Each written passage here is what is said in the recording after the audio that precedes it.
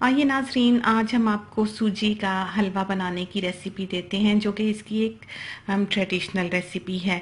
इसके लिए हमने ये चंद एक अशिया ली हैं, जिसमें सबसे पहले तो सेमोलिना है, जो कि हमने फाइन ली है वन कप और वन कप से थोड़ा सा कम हमने रो शुगर का लिया है, जैसे कि अगर 250 ग्राम्स हमने सेमोलिना ली है तो 230 ग्राम्स जो है वो हम शुगर लेंगे। अब जितनी सेमोलिना है, उतना ही हमने बटर लेना है। अगर वन कप सेमोलिना है तो वन कप बटर आपको चाहिए होगा। ये सॉल्ट फ्री बटर है। साथ हमने किशमिश ली है हाफ़ कप यानी कि रेजन्स और क्रश्ड कोकोनट लिया है। हाफ़ कप हमने हाफ़ कप ही हमने स्लाइस्ड आलमंड्स लिए हैं, और 12 13 हमने ग्रीन कार्डमम्स ली हैं।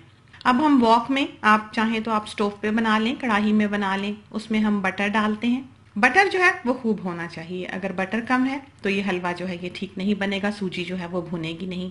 बटर जो है, इसको पूरी तरह से मेल्ट नहीं होने देना और इसमें हमने सेमोलिना जो है, वो डाल लेनी है। और इस सेमोलिना को हमने भून लेना है फिर इस बटर में।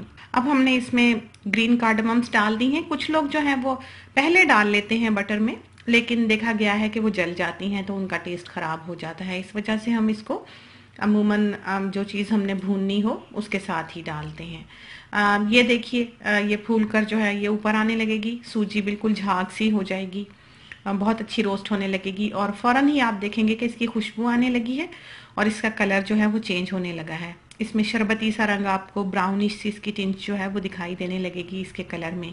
उस वक्त जो है, वो आपने पानी का ग्लास जो है, वो बिल्कुल रेडी रखना है, क्योंकि ये फ़ौरन से ही जल जाती है। और इसमें अब हमने शुगर ऐड कर दी है।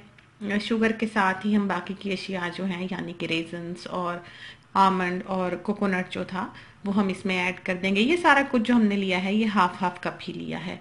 बाकी चीनी सेमोलिना और बटर जो है, वो बराबर हैं। अब देख लें, इसमें एक कप पानी जो है, वो और जाएगा और जिससे कि ये सूजी जो है, ये गलेगी। शुगर भी जो है, वो इसमें डिजोल्व होगी तो इसमें ये होगा कि जितना पानी इसका बनेगा उसमें ये सेमोलिना जो है, ये बहुत अच्छी तरह से गल जाएगी। क्योंकि अभी तो हमने इसको बटर में ही रोस्ट किया है और इसको हमने अभी भूनना भी है और गलाना भी है। तो ज़्यादा देर नहीं लगती, बहुत तेज़ी से ये हलवा जो है, ये तैयार होता है। तो ये देखिए, अब हमने इसको भून लिया है। हमने इसको इस हद तक पकाना है कि इसका बटर जो है, वो अलग हो जाए।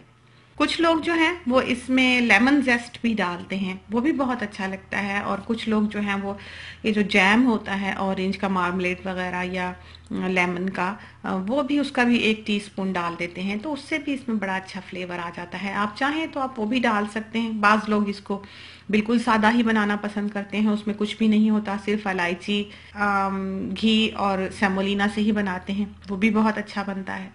तो जैसे आपको पसंद हो, ये देखिए, हमारा हलवा जो है बिल्कुल तैयार है। साइड्स पे आपको दिख रहा होगा वॉक के के बबल्स जो हैं, बटर के, वो अलग से दिखाई देने लगे हैं। बहुत नरम, बहुत सॉफ्ट और बहुत मज़ेदार हलवा जो है तैयार होता है। तो ट्राई कीजिए, खुदा करे कि ये रेसिपी आपको पसंद आए। इसके साथ ही हमें इजाज़त दीजिए। अल्लाह हाफिज़।